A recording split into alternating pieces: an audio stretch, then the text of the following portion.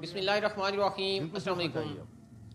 नाजरीन जहाँ सब सियासी जमातों ने मौजूदा इलेक्शन को धांधली ज़दा इलेक्शन करार दिया है और इस इलेक्शन को मुस्तरद किया है।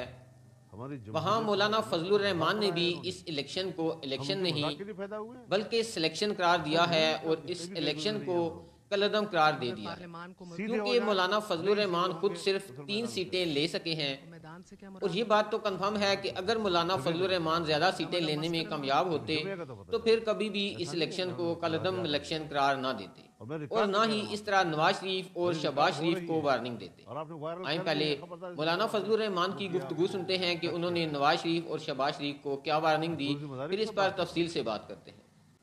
आपको इख्तलाफ कहाँ से है? क्योंकि खैबर पख्तूनख्वा में भी एक वाजे मैंडेट है। इससे मुझे कोई आ, किसी एक कंस्टिट्यूंसी से बात नहीं करनी। मैं मजमूरी पाकिस्तान के इलेक्शन को देख रहा हूँ और मजमूरी तौर पर पाकिस्तान का इलेक्शन नहीं है। ये दूसरी मरतबा एक बहुत बड़ा फ्रॉड है जिसको हमने मुस्तरद कर दिया है और हमारी इलेक्शन कमीशन यरगमाल है। एक नतीजा वो अपनी इख्तियार से देने के काबिल नहीं है। फिर बयान देता है कि इलेक्शन शफाफ हुए। तो हमने इसको मुस्तरद कर दिया अब यह है कि क्या हम इलेक्शन फिर लड़ें या हम एक जमहूरी जद्दोजहद को रोडों पर लाएँ तहरीकात की सूरत में लाएँ मूवमेंट शुरू करें हम मुल्क के अंदर जी और पब्लिक को कहें कि आप क्यों ख्वार हो रहे हैं हम क्यों ख्वार कर रहे हैं ये हुकूमत तो चलेगी नहीं फिर दो दिन अगर आप सड़कों पर आ गए। खुदा करे ना चले। हम नहीं चाहेंगे कि ऐसी हुकूमतें चले मुल्क के अंदर जो आवाम के हकी नुमाइंदा नहीं है।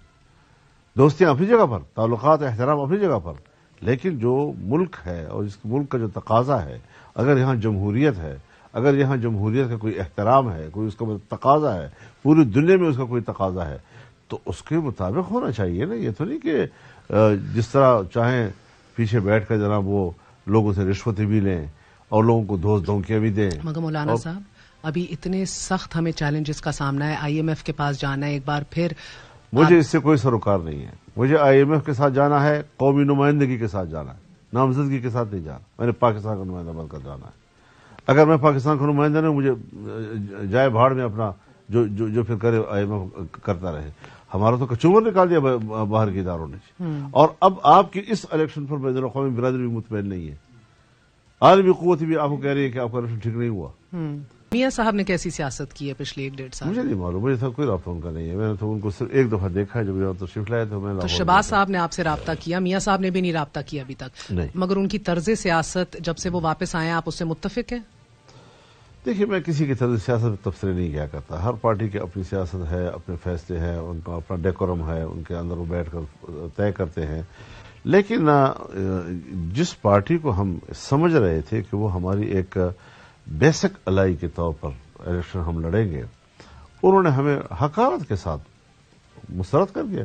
एक सीट भी देने को तैयार नहीं है। कहते आपकी तो पंजाब में हैसियत ही नहीं है। आप हमारी सीटों पर लड़े ना। शेर के इंसान पर लड़ो।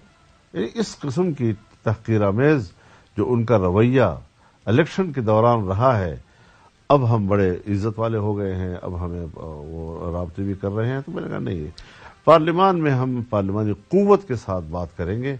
अगर मेरी जितनी पार्लियामानी कुत है तो मैं उसके मुताबिक आपके साथ बैठूँगा। अगर मेरी कुत नहीं है तो मैं किस खुशी में आपके साथ बैठूँगा भी आज चीफ इलेक्शन कमिश्नर के रेजिग्नेशन का भी मुतालबा कर रहे हैं? नहीं मैंने कहा कि वो जिम्मेदार है या गमाल है। और उनके बयान को मैंने मुस्तरद किया है जो उसने कहा कि छपाव हुए हैं। तो उसको इस्तीफा देना चाहिए आपकी नज़र में अगर आपने इतनी बड़ी चार्जशीट लगाई है। मेरे ख्याल में तो उनको अगर उसमें कोई कोई एहसास है अब तो उनको हक तस्लीम कर लेने चाहिए। और ये जो उनकी जमीर कोई जमीर है उनका और महसूस करते हैं कि बाकी हमारे इख्तियार में तो कुछ भी नहीं था। मेरे पास शवाहद है वो। तो कहते हैं वो कहते हैं इक्का दुक्का मसाइल हुए हैं। पिछले इलेक्शन और इस इलेक्शन के मेरे पास शवाहद है। एक नतीजा इलेक्शन कमीशन ने नहीं दिया एक नतीजा भी। वो मोबाइल भी डाउन वो आर ओ से आर ओ से बैठकर जो भी मनवाते मगर अब सर अगला लम्हा तो गवर्नमेंट फॉर्मेशन है ना। अब ये जिस सूरत भी बनती भला हो। उससे हमारे कोई दिलचस्पी नहीं आपका आपका तजर्बा क्या मुझे कोई दिलचस्पी नहीं है आपका फॉर्मेशन गवर्नमेंट की कोई दिलचस्पी नहीं अगर जरदारी साहब या कोई दिलचस्पी मुझे नहीं है। जरदारी साहब पर भी वाजे हो नवाज़ शरीफ पर भी वाजे हो कि फॉर्मेशन ऑफ़ द गवर्नमेंट ये कोई मसला मेरे नज़दीक अब नहीं है। आपको अगर ऐवान सदर की भी ऑफ़र दी जाए क्या कुछ भी हो जाए मैं इस नुमाइंदे के साथ नहीं जाऊँगा। इस हुकूमत के साथ नहीं बैठेंगे। नो मैटर वॉट और आपका तजर्बा क्या कहता है? ये हुकूमत हमारे मसाइल को हल कर पाएगी? सवाल ही पैदा नहीं होता। सवाल ही पैदा नहीं होता। कितनी देर चल लेगी? ख्वाहिश इकतदार है पूरी करने ठीक है। कितनी देर चल लेगी? पता नहीं अभी तो अल्लाह अल्लाह जानता है मुस्तकबिल को तो हम नहीं जानते। और मौलाना साहब जब तक ये अमली जामा और एक डायरेक्शन आपकी जनरल काउंसिल नहीं देती ये जो तहरीक आप निकालेंगे ये धरनों की सूरत होगा? असेंबलियों के बाहर बैठेंगे इलेक्शन कमीशन के बाहर बैठेंगे? यू कोई बात मैं आपसे इस बारे में न करना चाहता हूँ। सर तीन तीन साल आप लोगों ने अपनी स्ट्रेंथ दिखाई है। मैं यही तो कह रहा हूँ हमने तो स्टैमिना तो है। लेकिन मुल्क इसका मुतहमिल लेकिन हमने फ़ौरन नहीं शुरू किया हमने पूरी हिकमत के साथ शुरू किया तदरीज के साथ शुरू किया वक्त के साथ शुरू किया। आज मैं फ़ौरन आपके सामने कह मैंने ये करना है वो करना है मेरी पार्टी का फैसला होगा। मैं मैं मैं जमात को चला रहा हूँ मैं एक आदमी तनहा नहीं हूँ मैं। बड़ा सख्त फैसला है ये सर। पार्लिमानी सियासत मजबूरन करने पड़े हैं। मुझ जैसा मतदिल आदमी मुझ जैसा सबके साथ चलने वाला आदमी सबको इकट्ठे साथ चलाने वाला आदमी उनको आपने इतना नाराज़ कर दिया इतना मायूस कर दिया है कि वो अब इस पूरे सिस्टम को खैरबाद कह रहा है। इसके लिए तैयार हो गया है। इनको सोचना चाहिए अब। मुझे नहीं सोचना अब इसके बाद। मैं आखिरी हद तक सोच चुका हूँ। अब इनको सोचना है। हमारे हुब्बुल वतनी का मज़ाक उड़ाया गया है। हमारी जमहूरियत के साथ कमिटमेंट का मज़ाक उड़ाया है इन्होंने जी। हम उनके मज़ाक के लिए पैदा हुए हैं। ऐसा नहीं है इतना इतने भी गए गुजरे नहीं है हम लोग जी। मगर पार्लियामान को सीधे हो जाएँ। नहीं सीधे होंगे तो फिर मैदान में फैसले होंगे। और मैदान से क्या मुराद है? मैदान फिर जब जमेगा तो पता चलेगा ना। दमादम मस्कल अंदर। जब जमेगा तो पता चलेगा। ऐसा नहीं है कि हमने कोई हथियार डाले हुए हैं जी। और मैं रिकॉर्ड पे कह रहा हूँ आपके सामने। और ये रिकॉर्ड हो रही है और आपने वायरल करनी है खबरदार इसमें कोई आपने वो किया वो कट किया तो जी। मैं पूरी ज़िम्मेदारी के साथ बात कर रहा हूँ।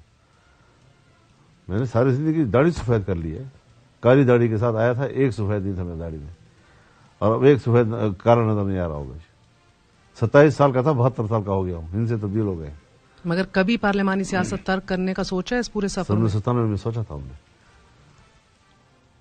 सोचा था हमने। ऐसा नहीं है कि हम इन चीज़ों को सोचते नहीं है।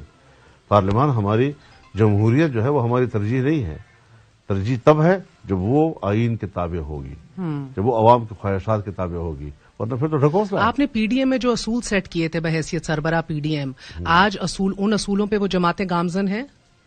खत्म हो गई तो, तो। कल बात की है शबाज शरीफ साहब ने कि एक चार्टर ऑफ़ रिकन्सिलियेशन की ज़रूरत है।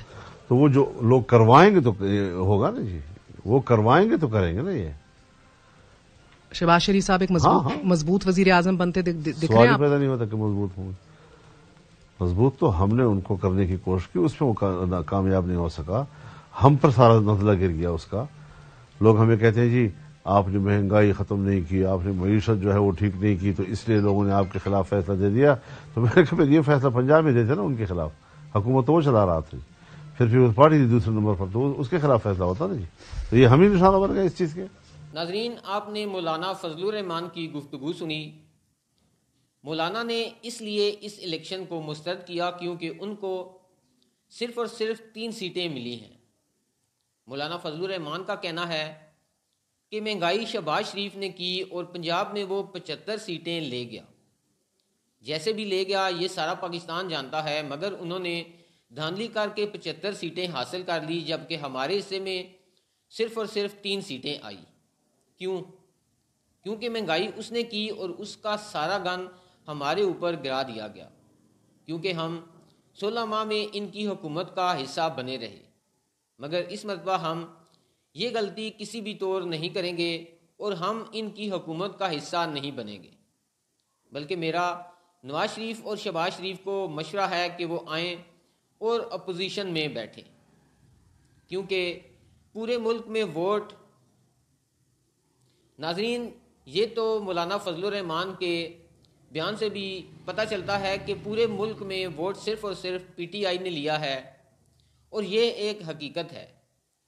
क्योंकि अवाम इनकी सोलह माह की कारकर्दगी देख चुके थे और इनसे तंग थे और वो इस चीज़ का इंतज़ार कर रहे थे कि कब इलेक्शन आए और वो अपने वोट के ज़रिए इनसे बदला लें, जो कि उन्होंने आठ फरवरी को करके दिखाया। नाजीन आपका क्या ख्याल है? अब नवाज़ शरीफ और शबाज शरीफ या पीपल्स पार्टी मिलकर हुकूमत बनाएँगे या तहरीक इंसाफ ही पूरे मुल्क में हुकूमत बनाने में कामयाब होगी। आपका इस बारे में क्या कहना है? आप अपनी राय से हमें ज़रूर आगाह करें। नेक्स्ट वीडियो तक मुझे दें इजाज़त। अल्लाह हाफिज़।